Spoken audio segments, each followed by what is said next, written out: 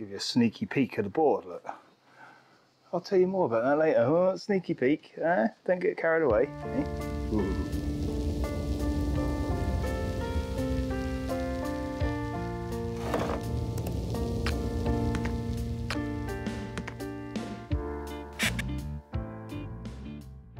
Okay, here I am.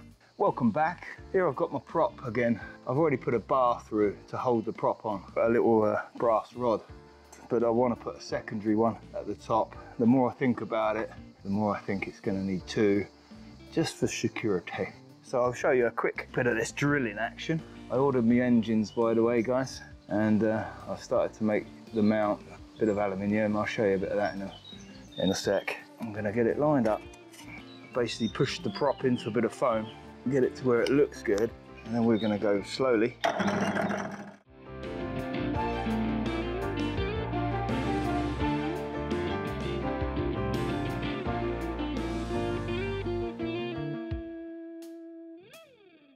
Birds are chirping.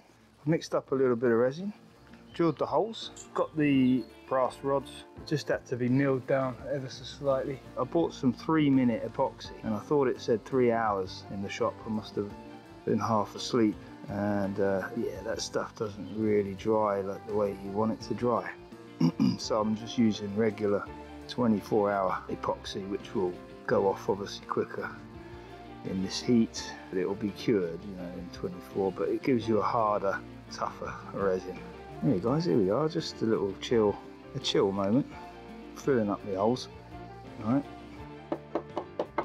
There it goes. It's soaking up the old resin this where's it all gone? It's running out the bloody side isn't it? I didn't pierce right through so you know because the other blade is right there. Just gonna give this a little tapping Here. There you go, guys. I feel happier knowing they're secure like that now. I don't know where all that resin went. There's my pins in. I've got two pins now in each one. I Should have done it straight away. But uh, I feel like that's gonna withstand the torque, you know? So that's cool. I'll let them go off 24 and uh, I'm carrying on with my engine mounts, guys. So hold tight for fast ride. Eh? There it is. Boom, boom, boom.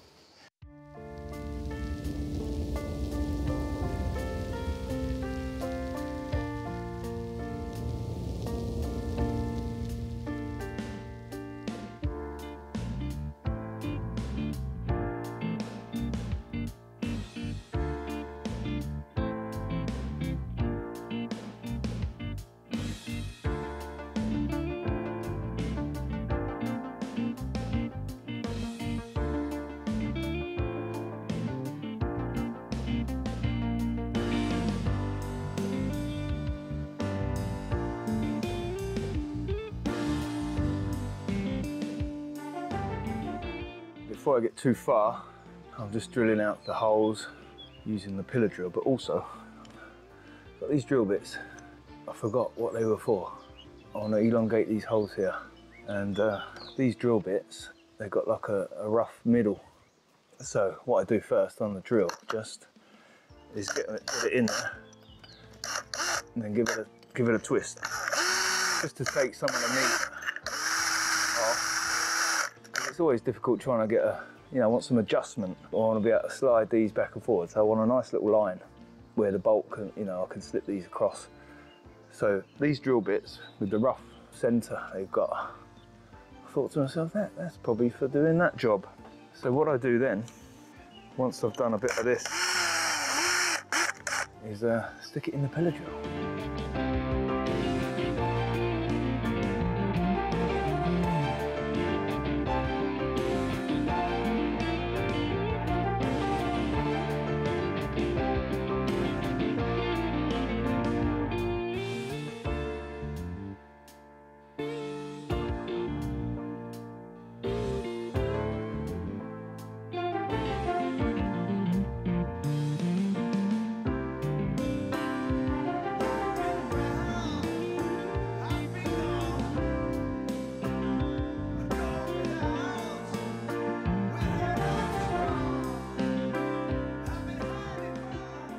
Okay, Waysiders, after much piddling and diddling, I've come up with this little effort. Uh, these little deals that I made, like you saw me cutting them out on the scroll saw, didn't use them. I created these brackets, made these deals here, these round back supports. The fronts are just adjustable. I've got two 8mm drill bits in at the minute, acting as a shaft. I'll drill these out to 10 eventually. And my motors are bloody 10mm, aren't they?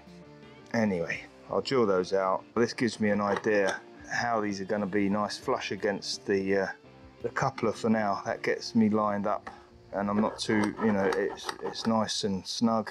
I didn't film a lot of it because it's all drilling and filing over a night or two, just sitting there filing away, getting everything looking how I like it. It's good enough for me. I think I'm gonna go black silicon to stick the, the mounts in. It'll take up any wobble that I've got and it's removable. If ever I need to get in and cut under, I can get them out. I've had some events here, I've had some little moments here with these brackets to chip off a bit here and there, remodify. But that's part of the building process, guys. So, you know, here we are. That's me brackets kind of done. I'll be getting sticking them in at some point here. My motors, I'm waiting probably another week because they're on a slow boat from China. Once I get the actual unit, I can then really see what I need to do. For now, these are mocked up. They're going to be strong enough all said and done, bolted in.